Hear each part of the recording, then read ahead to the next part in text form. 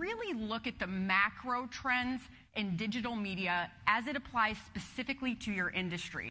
We did a benchmark report really looking at how digital media, is, how technologies, how social media is being used in the industry above and beyond marketing and branding.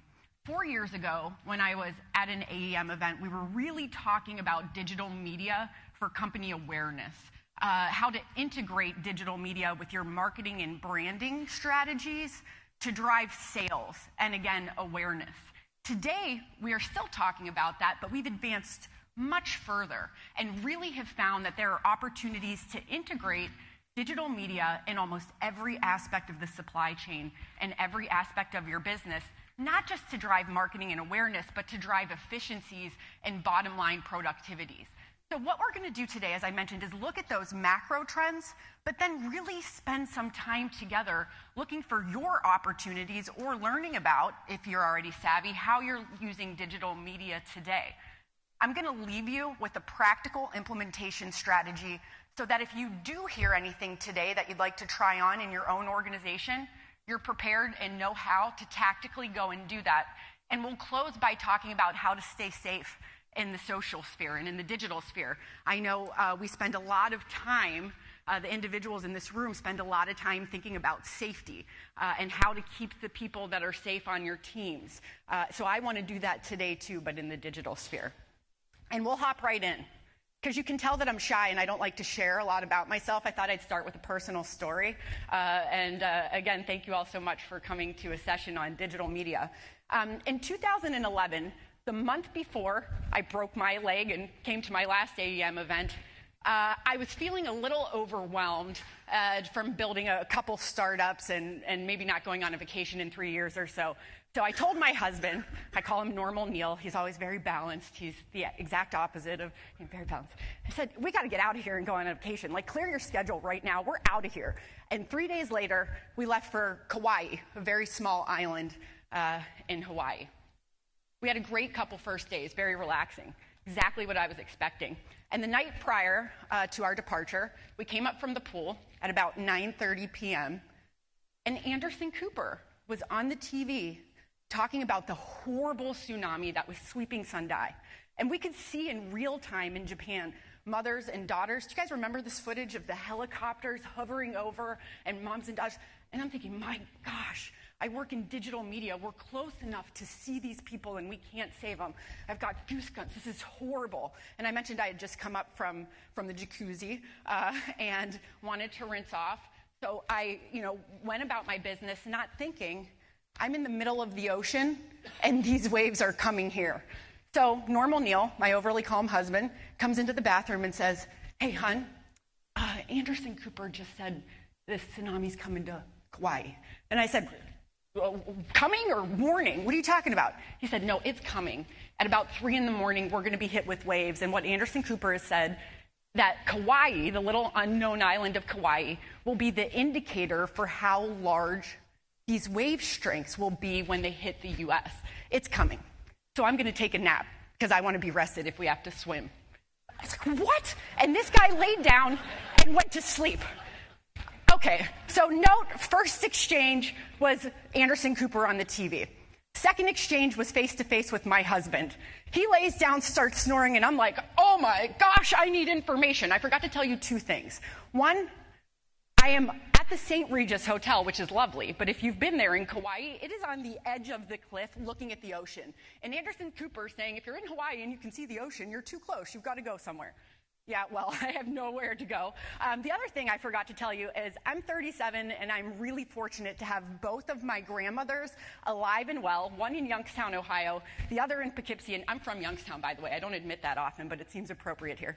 Um, they're alive and well, and they make me call them every time I land. And they're going to start freaking out as soon as they learn that I'm in Kauai on the edge of the ocean with the tsunami coming. So I have to get more information before I call my grandmas and settle them down. So I go to websites, local websites, and start looking at what people are saying about the geography in Kauai. Where's the highest point? I go to blogs. where people are really giving safety instructions, locals that have been through things like this before. Um, I posted on Facebook to my brothers and sisters that I love them, which then caused mass panic because everybody thought that I was going to die. I guess I don't do that enough. Um, what finally really helped me to make a decision, other than calling a few people that were in the mainland that were giving me some good, accurate reports, is this blog said, Hey, Carisa, didn't say my name, but I felt like it was speaking directly to me. The highest point in Kauai is the St. Regis. It's on a place called Queen's Bluff. If you can get to Queen's Bluff by 3 a.m., get there. It's the safest place that you can be. So, other than requiring some wine that the hotel sent me when I was asking them at what point the helicopters would come to the golf course to remove us all, um, I made my decision and I called my grandmas and I told them, hey, there's a tsunami coming. You're going to see when you wake up, but it's going to be okay. I'm at the highest point. There's nowhere for us to go. We're going to be great. And long story short, it, it, we were so blessed, and, and we got an extra couple days of vacation. All the roads were washed out. We were stuck there, and, and we were just fine. And our, our hearts and thoughts are obviously um, with the people that didn't have that experience in Japan. But here's the point for our story I made my decision, that's literally me making my decision, not just through one medium, not through what Anderson Cooper told me. Oh, there's Anderson Cooper. That's David Beckham, not my husband, but this is my speech, so I just figured. Um, not what my husband told me, not what the newspaper was saying, not what I learned on the phone, not what the blog said, but I made my decision through multiple different mediums. And I really can't tell you which medium was more important. And today, this is how our customers and our prospects are making decisions. They're using a million different mediums, starting sometimes with what we tell them face to face, but oftentimes a customer today is 60% through the buying cycle by the time they talk to us for the first time because of all of these mediums that exist online and the amount of information that they can gather. It's changing the way that we make decisions. So I would like to challenge everyone in the room today to ask yourself how this evolution of communication and the way that people are making decisions and the amount of information that's readily available to them is impacting your industry, your personal role, your organization, and what opportunities it creates for us. So, apologies for the long personal story, um, but truly, it sets the stage for the way that we digest mediums today and make decisions. And I'd love for you to carry that with you uh, through the rest of our conversations and challenge yourself to really be accountable to communicating where your target audience is today. And if that's in seven different places, then I'm going to challenge you to be in seven different places at once. But I'll give you some implementation and uh, tool techniques so that that doesn't sound overbearing before we leave. So, you know, the evolution of communication isn't new. If we think about this new digital media, and I was teasing you earlier with swear words like Facebook and Twitter, and you know, I don't say those words. I don't, I don't like to say that I'm in social media. Sure, I'm a social media practitioner, but what we're really talking about is just communication, the evolution of communication. We've seen this with all major mediums. We saw it with TV, we saw it with the internet, we saw it, you know, with broadcasting long ago. It seems like as a new media is introduced and becomes really productive, it almost starts to cannibalize other aspects of the industry. This isn't new, it becomes its own industry. So that's really what we're seeing right now. Um, but again, the question is what's the impact to you and what's it really mean? So let's have some fun. Who can define social media without using any of those swear words? How could you define social media if you're not allowed to say technology, you're not allowed to say online, you're not allowed to say LinkedIn, Twitter, Facebook, Instagram, none of those words. I don't want to hear them. What is social media?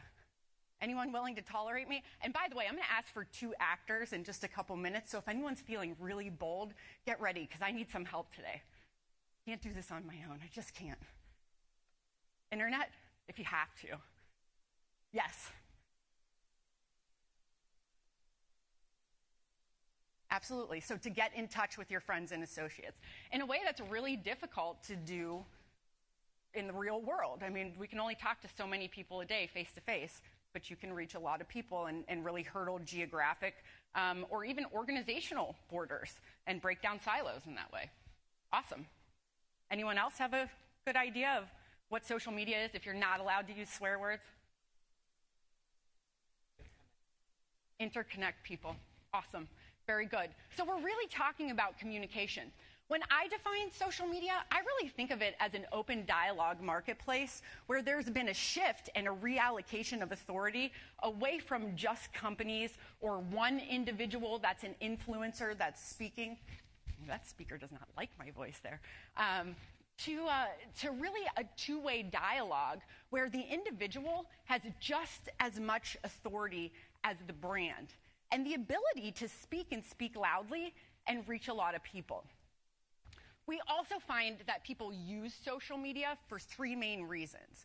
Um, and that tends to be for education, to seek for information or to learn about something, for entertainment, to connect with a friend, as you mentioned, maybe look at a picture of someone's new grandchild, um, and then also for collaboration, to really work with others that are like them uh, or not like them, and to collaborate and push ideas forward. And these are oftentimes the three reasons that we see people use social or digital media. The reason I take the time to share that with you is so that if you decide to use social media or are using it today in your business, you can think about how your customers or prospects or internal employees, if you want to use it internally, are using social media today, and then look to serve them content in one of those large umbrellas education, collaboration, or entertainment. So I mentioned that we did a benchmark report on the state of social media uh, in the agricultural and um, manufacturing equipment industry. And we found some really interesting things.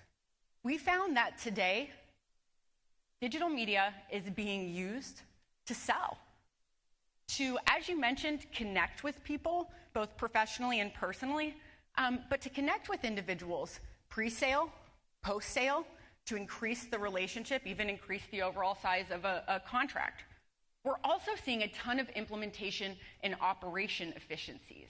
Um, we're looking at individuals uh, that may have a question about how to use something when it comes to training, for example, um, or a new customer that um, has a really exciting experience with a, a new tractor and, and, wants to be able to talk about it, we're watching people implement digital um, to drive efficiencies in other areas as well. And one place that might really be relevant um, for a number of individuals in the room is recruitment. One of the things that people look for in digital media is humanism. They want to talk to other people, they don't really want to talk to a brand. Um, and they have the ability to talk to people, as we've just talked about, and they're demanding. So, using that humanism, as we'll see in a case study that we'll look at in a little bit, in recruitment campaigns through social media and is an amazing way to meet new candidates, introduce them to your organization, and onboard them. Is anybody using social media in any ways, whether it be marketing and branding uh, or, or other business strategy ways that you want to share with us today to help put a little color to this benchmark study that we did? If not, that's okay. I'll pick on you in a minute. I can finally, I was, I can go Bueller, Bueller, and everybody knows what I'm talking about, right? I, I did this the other day. Nobody answered, and I went Bueller, Bueller, and I was at a university, and nobody knew what I was talking about. Everybody just stared at me, and I went, oh, wow. All right, moving on. Anyway, um, so what this means, um, as we've just talked about, uh, is it's changing the way that we make decisions. Um, and it's really making an impact in a number of different areas of our business. In the research that we did, I just wanted to take a minute really quickly to walk you through some of what we found. Um, we found that uh, at a shop manager um, level, individuals are oftentimes using digital media for safety reasons, um, really to promote, whether it be via video or text, a lot of different um, safety initiatives, which is interesting to see. We also saw, uh, as I mentioned, a lot of prospecting and sales going on. And one thing that we just saw a ton of is training, both internal training and customer training. That seems to be a very strong trend in the industry um, with social and digital media. And we'll get further into all of this as we move on. I kind of went ahead of myself a little bit earlier um, in talking about how digital media is changing the decision making process, uh, but let's elaborate just a little bit. Anyone here used to make cold calls? I made cold calls for like 15 years on the phone, right? Prospect never heard of you. Hi, my name's Carisa. I know I caught you off guard. May I please have one minute of your time? Here's your pain point. Here's how I can help you. Can I have an appointment to come in? No. All right, well, you have to say no five times before you're going to say yes. I know that no is just an objection for more information, so let me tell you more. Remember that? That was fun. Um, I still think there's a place for cold calling. I know a lot of people don't, but I don't think that cold calling's dead. It's just that today, oftentimes, by the time we make that cold call, again, the individual has been through so much of this decision making process that they're much further ahead, and our scripts have to change a little bit because we're hopping in 60% through the sales process. Um, but we're finding that when someone thinks to themselves, gosh, I need to buy something new, or I need this piece of equipment for my farm, they immediately do what? What's the first thing they do? One of two things that's, that is like 90% of people Google it first. And if they don't Google it, what's, what's a traditional person do? Ask. Ask a buddy. That's right. It's word of mouth in Google. And this is, thank you. You like that was like perfect, like I planted it for you. Um, this new decision making process is even changing word of mouth. So, what we find is one of two things happen, but it all leads back to Google. I really need to buy something new. I'm not going to call my salesperson or, or somebody. I'm going to go to Google. Then I'll have the information that I know. Or I'm going to ask my buddy, and then I'm going to take whatever he told me to Google and see if he's right and see what other people said. Because word of mouth is even changing by all of this information that we have. 97% of people, even when it's just over a restaurant, won't take your word of mouth anymore. Even your best friend will go and Google and see what other people are saying about the restaurant that you just suggested on Yelp or something like that before they make a decision to eat. The same thing is happening in the buying process, and we really need to think about how that changes our business orientation as we're approaching customers and prospects. But as I mentioned, cold calling's not dead. I'll prove it. I'll cold call one of you. I, am not sure what I'm selling, but I'll, I'll figure, give me something to sell, and I'll cold call one of you, and we'll prove that it's not dead. The real key to integrating digital media is in integration. You don't want to replace what you're doing today that works well for you. Rather, you want to think of, and I wish I had a whiteboard, you want to think of an intersection of where there's either opportunity for your company to improve or where there's just something that you do great and an interest of your audience, if that makes sense um, that's a good place to implement digital media. So I'll work to color that a little bit more. If you are really, really strong in training and safety information, and you're just best of breed when it comes to that, putting that information into digital tidbits to be digested in the areas where your customers, um, prospects, or even employees are today so that they can get all of that great information that you have is a really smart place um, to start. So, again, you want to look for either opportunities or gaps in your business, and then you want to match that intersection point with an interest of your audience. And that can help tell you what your digital strategy should be or where there's opportunity um, in your business. But again, the key is integration. You know, I'll say if you take one thing away, other than the fact I'm a little crazy and have a lot of energy from today, um, please take away this statement the most important aspect of what you do in the digital sphere are the results it drives offline. So I'll say it one more time. The most important aspect of what you do in the digital sphere, call it social sphere if you want to simplify it, is the impact it makes offline in your business. That's why we spend time online. We spend time online to make a bottom line impact in our business offline. Otherwise, it's useless, and, and we're literally twittering our lives away and Facebooking away, and all those bad words come back. So, you really want to be strategic about where you see the opportunity. And again, that's either a strength or a gap in your business, and you want to match it with the interests of your audience. And the reason I say audience is because it's easy to talk about customers and prospects, but I know that you have a lot of individuals that comprise different segments of your audience. Um, and so you may be saying, I really have a communication struggle internally at my organization, and I could see a way to implement an internal uh, system that allowed individuals to share voices across silos and so forth. And in that case, your audience would be your internal employee. But this is a formula that will help you identify if there's an opportunity to integrate. So, if guess this is what I'm selling you. I'm selling you that this can impact your bottom line. Um, if you're buying what I'm selling, uh, I'd love to spend just a tiny bit of time talking about how you can implement it. And this is where I warned you I need help because it's hard to implement big strategies on your own. I need two people to come help me implement. Uh, and I'm just going to ask you to do some impromptu acting. It's super easy, it's super fun. You'll make me so happy.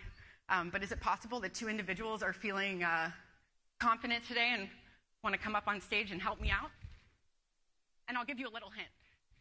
At tMedia, uh, we've created a three step strategy that allows you to implement in the way that we've been discussing. And I'm just going to have you guys help act it out. It's super easy. I'll go downstairs and buy Starbucks cards and bribe someone if I have to. I'm not above bribery. Please. Two takers. I was told everyone was engaged. Yeah. Awesome. All right. Listen, how much have you heard me talk? I can play two people if I need to, but you don't want to see my split personalities. Thank you, sir. I'm Carisa. Chance. Chance. Awesome. Awesome, awesome. All right, I need one more rock star. Anybody, anybody. Come on, come on. And then I need literally 30 seconds with my actors to get them ready. Don't make me do it by myself. Well, I'm going to have to play two roles. That's going to be hard. All right, guys, come on. One more person. One more person. You guys can do it. It's so easy. Come on, come on, come on. Please don't make me beg. Ah, thank you, thank you. Awesome, awesome.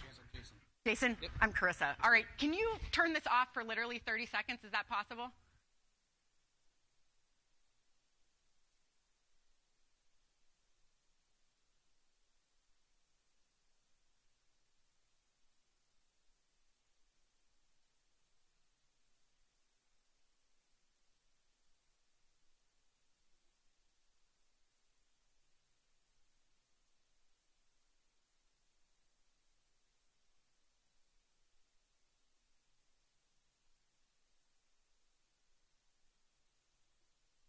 Ready. I'm ready to roll. I don't even know if I was ever on mic. I'm going to grab both of you gentlemen microphones. And we are ready to roll. You guys want to do it there? You want to come up on the stage? It's up to you. You can even sit if you're more comfortable, whatever, you, whatever your preference is. Your chance. Your chance. And thank you guys so much. Can I have a round of applause for my actors? All right. So here's the stage. We are at an at an AEM networking event. That's it. All right, ready? Actors, act. So uh, I'm guessing you went to the AEMP dinner last night? Actually, I didn't. Uh, my group decided to go to Tilted Kilt last night and get some wings and some burgers. It was pretty good. Really? Oh, yeah. Yeah, we went to Johnny's last night and uh, I had some, I call it chicken fried veal because, uh, you know, they smash it and bread it. It was actually really good. Man, that sounds good. I have to try Oh, hi, guys. My name's Carisa. You're here with AEM. I'm sorry to interrupt. I just got the skirt, and it's running already. Can you believe this? This is so crazy. I mean, do you, do you ever shop at Banana Republic? I mean, can you believe this? This is insane. I'm sorry. What's your name? Uh, I'm, I'm, Chance. Oh, so nice to meet you. And you? Uh, Jason. Oh, good. Well, anyways, nice to meet you guys. Check you later. Bye. Anyway, All so right, back to what we are talking about. All right. So, round of applause. What just happened? Why weren't they interested in me at all? They were not interested in what I was talking about. I was not serving up value based relevant content. Fair enough? Um, but, but truly, um, they didn't accept me into their conversation because I was a stranger. I barged in I didn't introduce myself or shake my hand first, or shake their hand first, rather, shake my own hand first. Um, and I didn't ask what they were talking about or listen first to know what the topic of the conversation was. I just started creating content about something my audience truly didn't care about. I can't tell you how often we do this in the digital sphere. You guys aren't off the hook yet. You know you got one more round. Um, we do this all the time in the digital sphere. We're like, I got a great idea for a social media campaign. And then we spend all this fancy money building it, and then we serve it to our audience. And they're like, what in the world is this person talking about? I've never heard of them. They didn't introduce themselves. Why are they wasting my time? And it feels like spam. So let's look at how implementation can go if we if we do it properly. All right, actors, you ready for round two? It was pretty good last time. I was trying not to stop it, but I know I only get 45 minutes. Actors, act. So anyway, we went to the AMP uh, dinner last night, and it was kind of cool. You know, I didn't expect it to go that way, but we all got together and talked a lot about business. So Yeah, met some new people. yeah, definitely. Great, great food. Yeah, really good food. Yeah, Oktoberfest was good. Yeah. Went down good. Well, and then there was a little bar right around the corner from the, the place, so you know yeah. we got Hi, to mingle with it. gentlemen. I'm so sorry to interrupt. My name's Carisa. Hi, Carisa. Nice to meet you. Chris, I'm Jason. Jason, such a pleasure. I um, just overheard you talking. You're here with AEM? Hey, yeah, actually AMP and you know, but AEM as well. AM and AMP, excellent. And um, you, uh, you were at the dinner last night? Yeah, uh, we uh, you know we all met at the uh, Bar Louie, and you know they passed out Oh, cards, so we Bar got to randomly go with different people. How fun. I bet that was a really productive exercise. I've It heard was. of Bar Louie. It's supposed to be really nice. Are y'all headed back that way tonight? Oh, we probably will. I imagine. Heading home. Heading home. That'd be lovely. Um, excellent, excellent. Well, I'm so glad that it was uh, productive. And I know I missed last night, but maybe we can exchange business cards too and keep in touch in the future. Definitely. Yeah, That'd be you. excellent. So nice to meet you. Thank you, gentlemen. All right, round of applause for our actors. All right, you guys are in the clear. I'll take them, don't worry. Thank you guys so much. Seriously, you guys rocked it. You guys are very good actors. That's like off the cuff with little preparation. Um, a sincere, sincere thank you, because as you can see, it's very hard to play all three of those roles, although I've had to do it in the past. Um, so, what happened the second time? This isn't brain surgery now.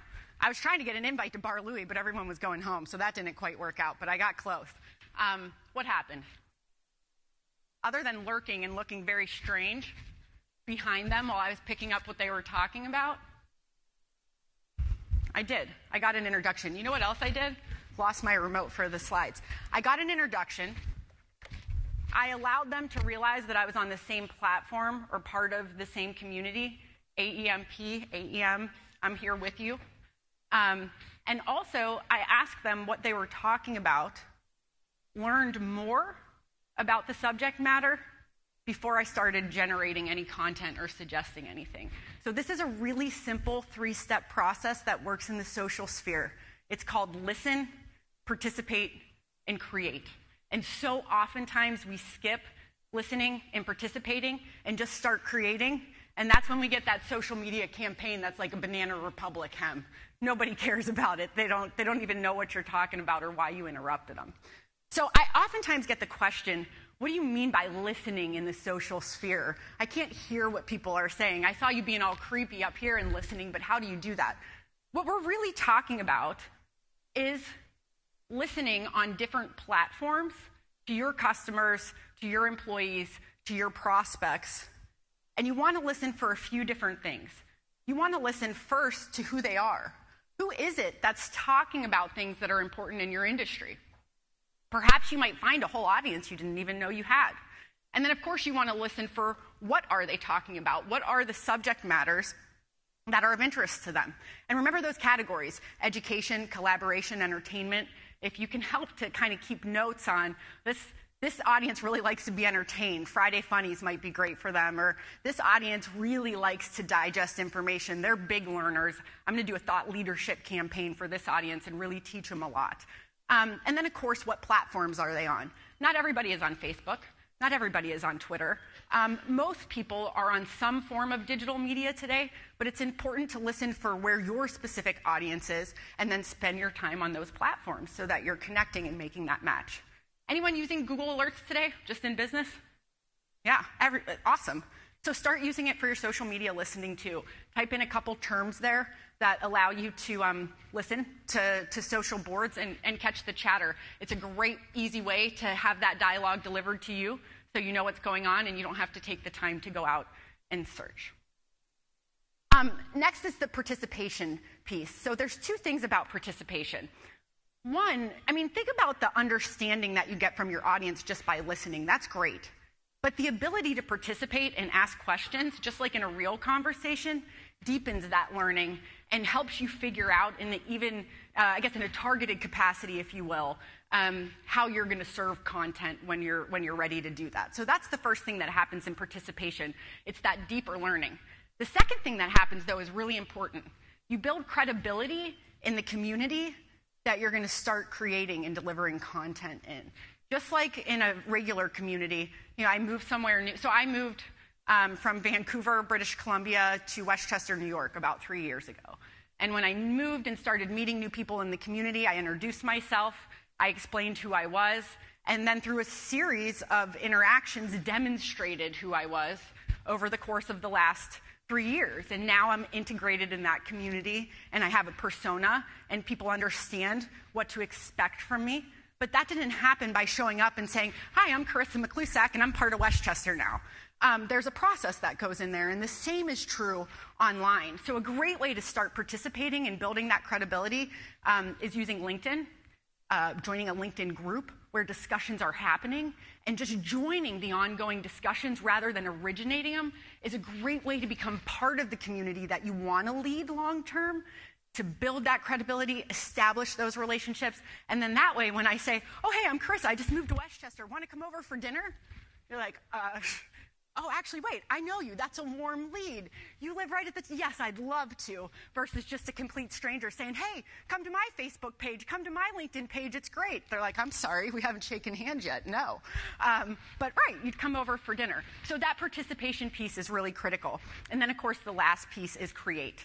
And the only rule with creation is you have to make sure it's value based.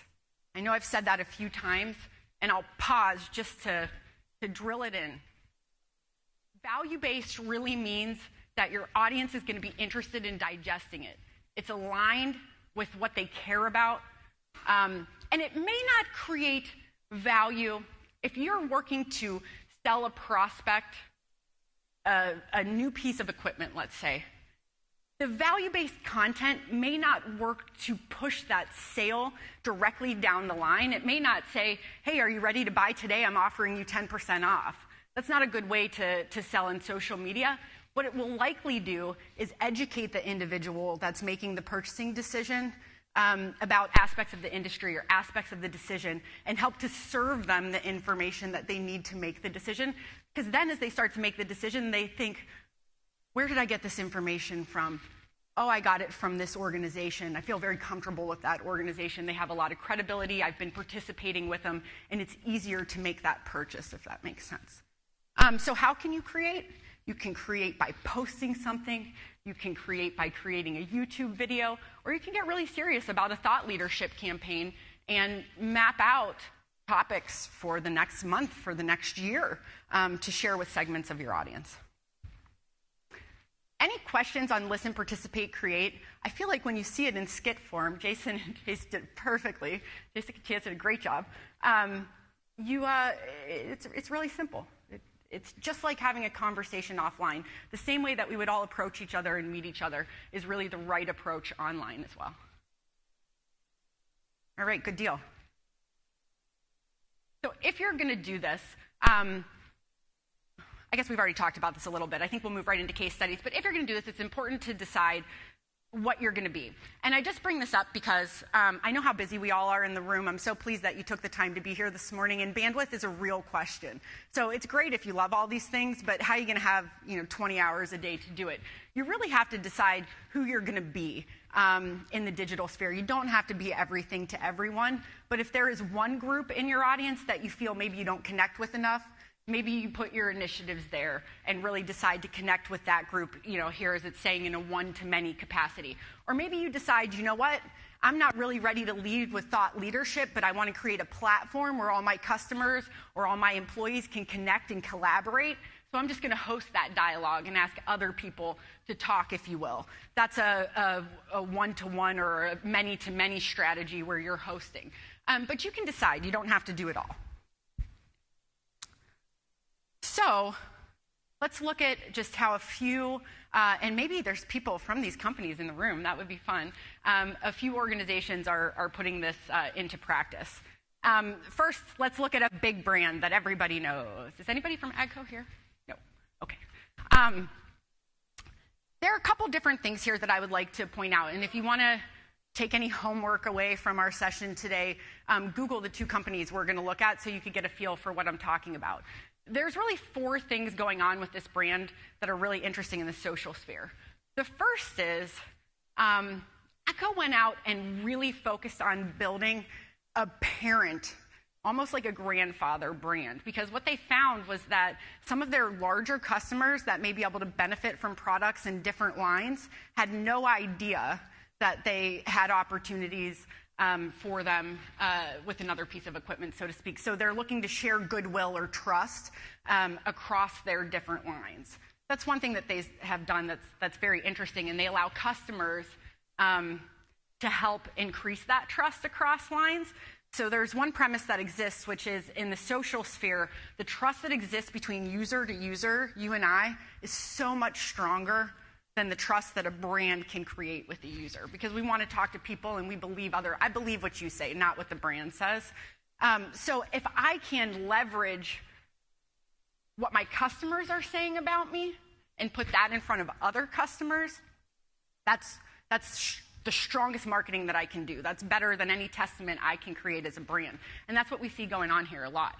Now, at the same time that I'm saying they did a great job unifying a brand, they're also leveraging something that we call the power of segmentation in social media. In social media, um, you know, your definition was a, a good jumping stone for this we're able to reach so many people in such a vast capacity.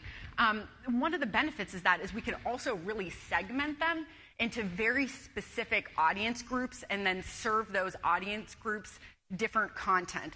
So, for example, with AGCO here, what's going on in Zimbabwe on a farm may be very different than what's going on in Denmark, and they don't want to talk to these two customers in the same way.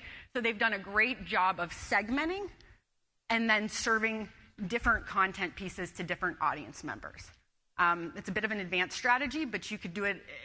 You could, you could, you know, have one communication plan for your employees, one for your customers, so on and so forth.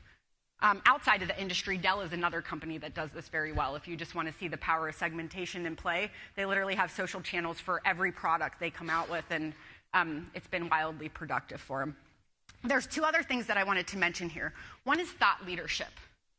Um, they're really doing an excellent job selling by using thought leadership. They put out a tillage report or tillage tips um, often, and it seems to be wildly popular. Uh, and they're oftentimes doing so via videos or showcasing customers um, on, a, on a piece of equipment on their farm. So just some tips there on, on and, and it's really increased sales. Aside from the numbers, like they have 45,000 Facebook members and all that kind of stuff. Remember, the most important aspect of what you build online is what it does offline. I'm more interested in how it's transpired into sales and a bottom line impact. And it seems like specifically that goodwill across lines has been very productive. Um, but I always like to look at case studies from organizations of different sizes. Is anyone here from RDO Equipment Company? No? Too bad. Um, doing just as awesome of a job um, as AGCO is, and there's a couple things going on here. One on the left, this is an amazing recruitment video where they're really leveraging humanism to talk about what it feels like to be part of the team. And apparently, uh, this strategy has been wildly productive and not just interested, not just getting more candidates interested in the organization, but in actually reaching a larger candidate pool that they didn't realize was out there with a relevant skill set for them um, because some of the ways that they were advertising their recruitment campaign, they weren't reaching these people because the people weren't on the other end of that medium. They were somewhere else, maybe in the digital sphere. Uh, so, oftentimes, what you find is that by going into the digital sphere and integrating what you're already doing, you actually tap into a larger audience because now you're pulling people that are both offline and online. The other thing that's going on here um, again, is they're taking videos uh, of customers using different pieces of equipment. But this was a really interesting campaign and something that almost would freak me out as the owner of this company. I think it's fantastic that they did this. They allowed individuals to record in real time and upload their reaction to a new product.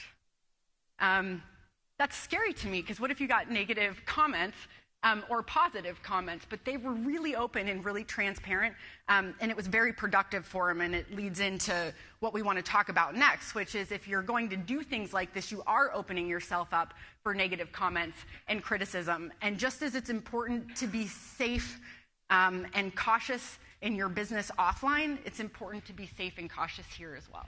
Uh, so I just want to leave you with a few ABCs of safety uh, in the social sphere.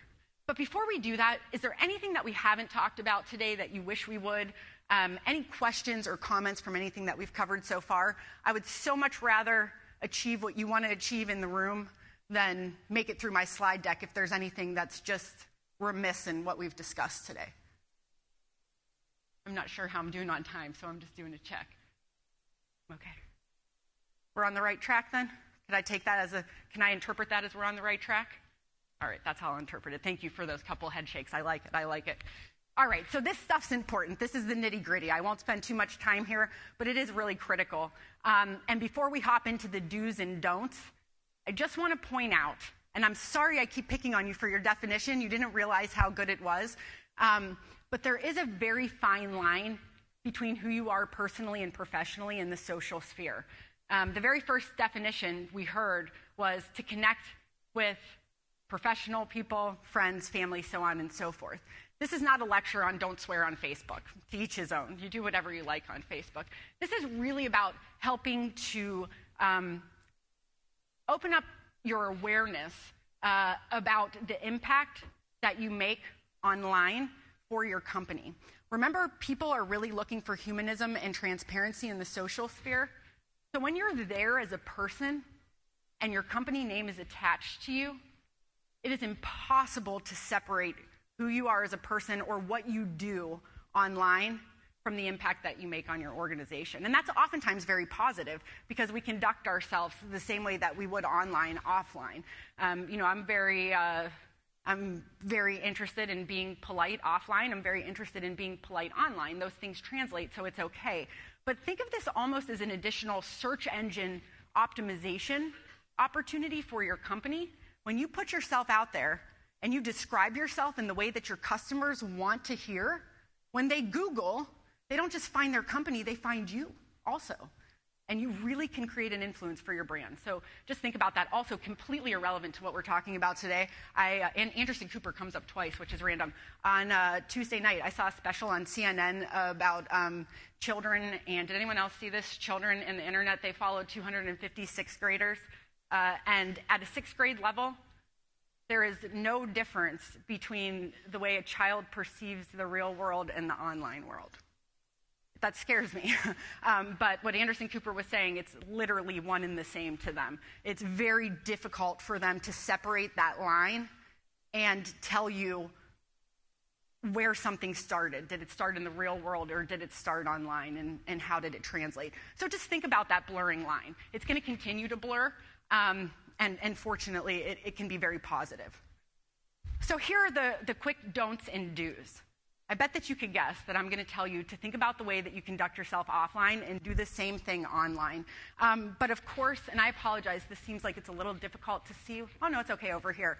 Um, we never want to post any confidential or you know, proprietary information, obviously. Um, we want to be very careful, and this is easy to do by mistake in the online sphere, about infringing on anybody's um, copyright uh, or trademark, trademark content. You know when you see people reposting and retweeting all the time? It's that at sign where they're giving credit to where the post came from that's really important if you're going to share content. That's actually a legal protection uh, for the individual that's sharing the content. So it's great. That's called co creation. We talked about creating your own content from scratch, film a customer or have a customer film themselves, uh, you know, create something from your organization. But co creating, taking content from other organizations in the space and sharing it is a great practice too. They love it. You just want to make sure you use that at sign to indicate where it originated. Um, so those are really don'ts. Um, of course, you you know you don't want to post anything that's uh, negative about the organization or anything that is internal information. I mean that's pretty basic. Um, if I could share again two words, it's really about um, transparency and honesty. Um, that doesn't mean that if you have a bad quarter, you have to go post in the digital sphere, oh my gosh, we just had the worst quarter ever. I just want to be transparent and honest. Um, what transparency and honesty means in the digital sphere uh, is really just answering questions to the best that you can, uh, whether they're positive or negative, um, in, a, in, a, polite and transparent tone. So sharing what you can. Um, There's also just a couple do's in terms of staying safe. Uh, you do always want to be polite, of course. We don't need to talk about that.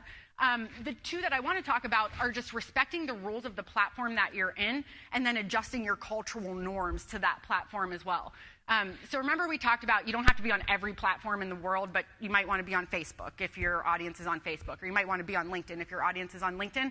It's important to change the way that you're talking and presenting information for the cultural norms. And I bet you're all already pros in this. If I'm going to Twitter, how am I going to present information? It's going to be short, informal, right? Because you can only write 140 characters. I might have a picture. I'm probably going to use slang or dashes. I'm not going to be very formal in my presentation. But if I'm on LinkedIn answering a question in a group, I'm probably going to have a very professional tone and maybe even lead a link to a third party or an article that supports what I'm talking about because that's a much different climate, if that makes sense. So just think about where you're talking, and just as you would in real life, um, adjust your cultural norms uh, to what you're speaking about as well. Oh, cool. I can click here as well. So, what if somebody does say something bad? Has anyone ever had this happen in social media? Good. That's good. But it happens. Got it. What if somebody says something negative?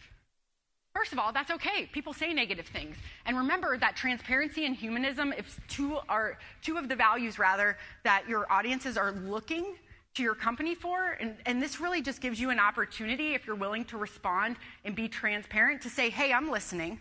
I take customer feedback. I heard you and I'm a human, and I'm going to answer the questions. Um, now, with that in mind, there are a couple rules to answering a negative response. One, you want to be timely. That's a tough thing to define in the social sphere because people think timely means now, now, now, now. When I say timely, you really just want to respond to that person faster in the social sphere than you would through a more traditional channel. So if it would take you three days to call that customer back if they left you a message, you want to have it take one day to get back to them in the social sphere because their expectation is that it's going to be in real time or faster than traditional mediums to reach you. So you do want to be timely because people normally say something um, rude or negative when they're mad and heated. So we want to get to the person quick. Um, the other thing is, of course, being positive, polite, but there's one time when you have to be tough on someone that's negative, and that's if they post something that's inaccurate. If someone posts something that's just blatantly inaccurate about your organization, you do not have to say, Thank you so much for posting that. I hear you. I appreciate it. Have a good day. Um, certainly, you should thank them for being interested in your organization and taking the time to create content about you. But then I would say you'll be pleased to know that's actually infactual. Here are the facts.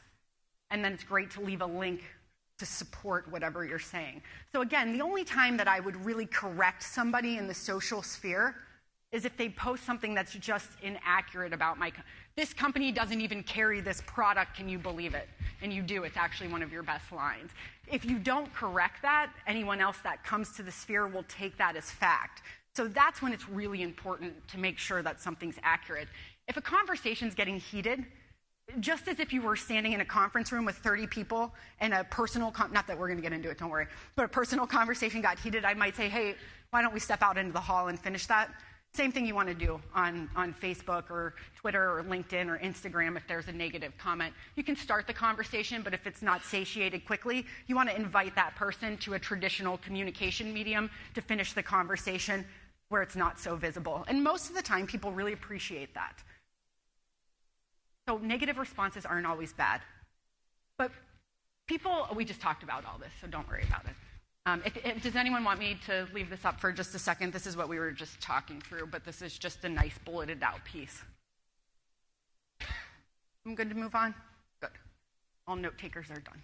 I'm a note taker, so I'm always extra sensitive to note takers. Um, one of the last pieces that I'll talk about today is it's also really important to capitalize on positive responses. We spend so much time in the digital sphere worrying about what if someone says something bad and how are we going to respond? It happens very rarely. But so often people are saying really great positive things about our brand and we're like, oh, that was really cool. but we don't do anything about it. And remember, that trust that exists from user to user is so strong.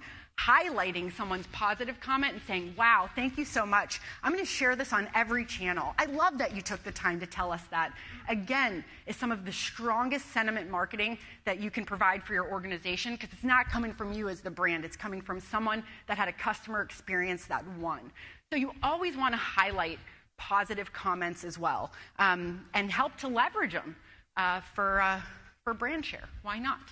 Um, and there's one final concept that I'll leave you with in uh, social and digital media, which is called a social influencer. An influencer in social media is somebody that talks about your company quite a bit and has a large following. Obviously, they can make quite an impact on your brand. So when you're looking at negative and positive comments and figuring out how much effort you need to put into a response, you really want to figure out if the person is an influencer in your industry or not. And if they are, by putting effort into connecting with that individual and co creating or chatting with them, you're going to reach a very large audience through them, if that makes sense. So you always want to look through these influencers. And in your industry specifically, there are a lot of thought leaders um, that are individuals that simply share great information, and, and teaming up with such influencers can be a great way to to drive uh, sales, customer service, whatever it may be. So, just as a quick insurance blanket, um, there are a lot of tools that you can use to help automate some of this. Does anybody use Hootsuite today? Cool. All right, great. There is a company, and I have no affiliation with them. I met the owner once, so not a, not a sales plug, called Hootsuite, H O O T S U I T E dot com. They have a, a paid version, there's also a free light version. If you're going to start doing digital and social media work, think about, um, think about signing up for Hootsuite. What it is, is it's a social media aggregator. So it takes in everything that's being said about you on all your channels, puts it in one place where you can see it, and then builds analytics around it. So you literally have analytics telling you where people came from, how many times they engaged, so on and so forth. And everything's on one nice platform. So you've got Facebook, Twitter, LinkedIn, all right there on one screen. The other thing that you can do on Hootsuite for free is post content to more than one platform which is such a time saver. You know, if you just think like a customer says something great and you say, I'm going to leverage that across all my platforms, then you're like, oh my gosh, I have to literally copy and paste this in seven different places. You don't. You can just ping it out on Hootsuite, and you can even stack Hootsuite to send messages out while you're sleeping, and it will just, uh, you know, 1:29 a.m. send the video that you told it to send at that time. Um, so there are tools in the digital sphere that make using social media for business productive. And if you'd like to try on any of these strategies that we've talked about, I, I call it the executive plan. Um, listen, participate, create. Five minutes each a day. So coming in the office, reading the paper, having your coffee, getting set up with everything that's going on. Listen in the social sphere for five minutes to your customers, to your prospects, to your employees. Find out what's important to them.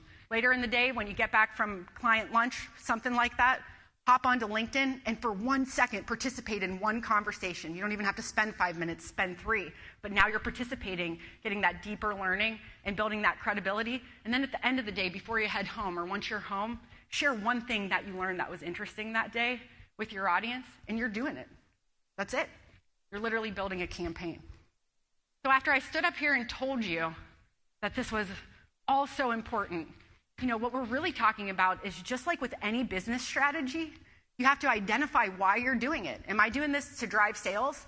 Am I doing this to increase my candidate pool when it comes to recruitment? Am I doing this to increase my visibility in safety training with my customers? Why am I doing this? What's the strategy? And then you have to ask yourself, how do I define success? How will I know if what I'm doing is working? And remember, that success is going to be offline. This is working if I sell two more pieces of equipment than I did last month as a result of what I'm doing online. That means it's working, and we can measure that. This is working for recruitment if I talk to seven people that I had never met and made two hires in two weeks when it normally takes me eight weeks. That's working. So, just like with any business strategy, define what your success criteria are and then measure it. And if it's not working, stop doing it and look for that opportunity in that intersection somewhere else. So, after all that, is it really that different? The evolution of communication. We started have cavemans, ooga, ooga, ooga, right?